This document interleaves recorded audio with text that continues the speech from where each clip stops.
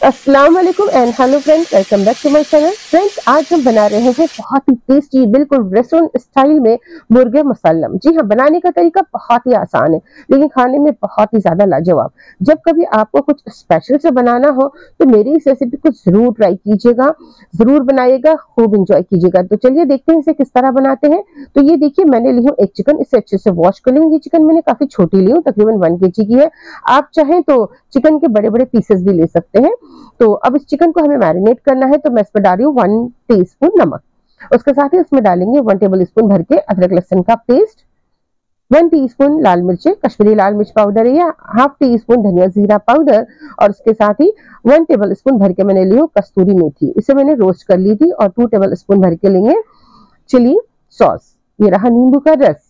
और साथ में डालेंगे हरी मिर्चों का पीस वन टीस्पून और दही। दही एक कप ले रही हूँ, दही बिल्कुल फ्रेश है और साथ में डाल देंगे फ़ूड कलर और बिल्कुल अच्छे से पूरी चिकन पे तमाम मसाले हम कोट कर देंगे। तो ये देखिए मसाले लग गए। अब चिकन को हम मैरिनेट करने रख देंगे एक घंटे के लिए।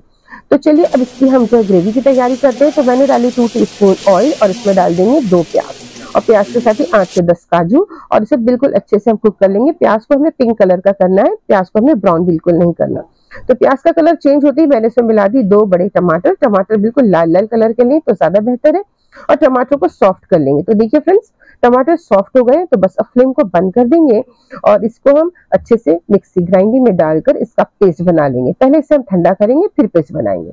अब यहाँ पे देखिए, मैंने ली हूँ टू टेबल स्पून ऑयल और two tablespoon butter butter का फ्लेवर मुर्गी मुसलम में बहुत अच्छा आता है तो आप कोशिश करें इसे ज़रूर डालें। और नहीं तो आप इसकी जगह घी का इस्तेमाल भी कर सकते हो। अब इसमें मैं डाल हूँ वन टेबल स्पून भर के गार्लिक चॉप किया हुआ गार्लिक है, यानी बारीक कटा हुआ लहसन।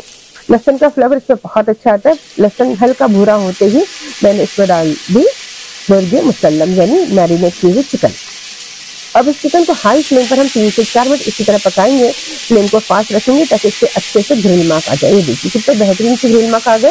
दूसरी साइड भी हम तकरीबन तीन से चार मिनट कुक कर लेंगे और फिर इसे भी पलट देंगे। तो ये देखिए फ्रेंड्स दोनों तरफ़ चिकन अच्छे से हमारी ग्रिल हो चुकी है। अब जो बचा हुआ मैरिनेशन का मसाला था, वो मैंने पूरा के पूरा इसमें डाल दिया और चिकन को बिल्कुल अच्छे से इस मसाले में भून लेंगे। तो देखिए इस तरह से अच्छे से कोट कर लेंगे। मसाला अंदर बाहर तमाम जगह पे डाल देंगे तो चमचे की मदद से, स्पून की मदद से भी मसाला चिकन के ऊपर डालते जाएँगे और चिकन को इस तरह से हम भूनेंगे। अब यहाँ पर चिकन को हमें जलाना बाकी है। चिकन हमारी ग्रिल हो चुकी है लेकिन इसे गलना बाकी है। तो क्या करेंगे? फ्लेम को अब हम स्लो कर देंगे और इसे लीड लगाकर तकरीबन 10 मिनट के लिए बिल्कुल स्लो फ्लेम पर पकने के लिए रख देंगे ताकि चिकन अच्छे से गल जाए। तो लीजिए मैं इसे लीड लगा देती हूँ और मिलते हैं हम दस मिनट बाद। तो भाई दस से बारह मिनट हो चुके हैं। चिकन को मैंने एक बार पलट भी चुकी हूँ। चिकन बहुत अच्छे से हमारी जो है कुक हो चुकी है। ये देखिए हड्डी नज़र आ रही है। इसका मतलब है चिकन बिल्कुल अच्छे से टेंडर हो गई गल गई है। तो अब इस चिकन को अलट पलट करके मसालों में बिल्कुल अच्छे से कोट करेंगे, थोड़ा सा मसाला अंदर भी डाल देंगे ताकि अंदर भी मसालों का फ्लेवर बड़ा अच्छा सा आ जाए। तो ये देखा आपने कितनी बेहतरीन से हमारी मुर्ग मसलम बन रही है। अब जो हमने मसाला ग्राइंड किए थे, प्याज, टमाटर और काजुओं का, वो डाल दिया मैंने और इसे भी बिल्कुल अच्छे से भून लेंगे। फ्रेंड्स, हमने ये मसाला जो है आखिर में डाले, यानी चिकन गलने के बाद डाले। क्यों? क्योंकि इसमें काजू होते हैं। अगर इसमें शुरुआत में हम डाल देते तो ये पैन में मसाला लगने लगता तो इसलिए मैंने इसे आखिर में डाली हूँ। अब इस मसाले में चिकन को बिल्कुल अच्छे से कोट कर देंगे। ये देखिए, और अब इसे लीड लगाकर तकरीबन चार से पाँच मिनट स्लो फ्लेम पर पका लेंगे। तो ये देखिए, पाँच मिनट हो चुके हैं और ये चिकन बहुत अच्छे से हमारी कुक हो चुकी है। आप अपने चिकन के मुताबिक चिकन को कुक करें। छोटी मेरी चिकन थी, इसलिए बहुत जल्दी गल गई। अब इसमें डालेंगे two tablespoon tomato ketchup. ये रहा हरा धनिया और साथ में एक टेबल स्पून बटर डाल दिया मैंने। बटर का फ्लेवर बहुत अच्छा आता है तो बटर को अच्छे से मिक्स कर देंगे। तो देखा फ्रेंड बिल्कुल रेस्टोरेंट स्टाइल में हम बिल्कुल सिंपल तरीके से इसे बना रहे हैं। बनाने में कोई झंझट नहीं, तकरीबन तमाम चीज़ें हमारी घर में ही निकल जाती है। तो ये तैयार हो रही है हमारी मुर्गे मुसलम तो चलिए इसे गर्मा गर्म सर्व करते हैं।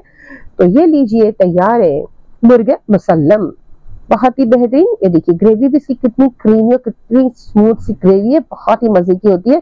आप इसे राइस से या फिर हरी हुए राइस ले लें या बटर नान शीरमाल पराठे, जिसके साथ चाहे सर्व कर सकते हैं, या एज ए स्टार्टर भी इसे आप इसी तरह सर्व कर सकते हो। तो अब मैं इसे गार्निशिंग करिए, थोड़ा सा हरा धनिया, थोड़े से बटर में तले हुए काजू। का टेस्ट बहुत ही अच्छा होता है। तो फ्रेंड्स ये रेसिपी कैसी लगी आपको? मुझे कमेंट्स करके ज़रूर बताएँ।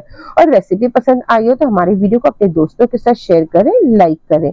अपना और अपनी फैमिली का खूब ध्यान रखें। साथ में हमें भी दुआ में ज़रूर याद अल्लाह